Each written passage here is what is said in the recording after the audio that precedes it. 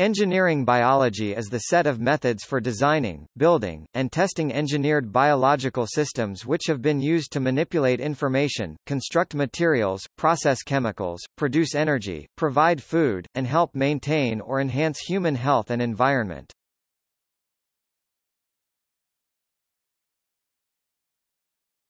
Topic: History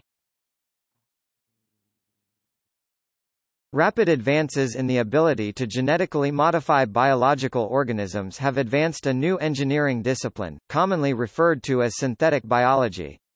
This approach seeks to harness the power of living systems for a variety of manufacturing applications, such as advanced therapeutics, sustainable fuels, chemical feedstocks, and advanced materials.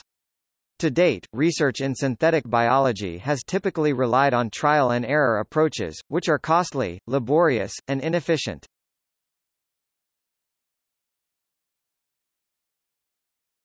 Topic. See also